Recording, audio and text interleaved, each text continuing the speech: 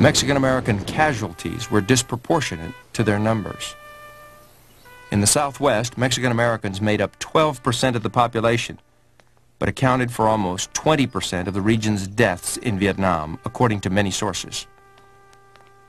Was and is a deep respect for the military in our community because it was one of the gateways, one of the paths that people took to gain an education, to gain some sort of self-respect. The problem was that the only places where we could go forth and claim a part of being American in this country was by spilling our blood. And the fatality rate is not consistent with the fact that we have so many inconsistencies as far as social problems here in our in uh, in Los Angeles, in our own nation, in our own country. You know, why should you fight over there when our main battle's over here right now?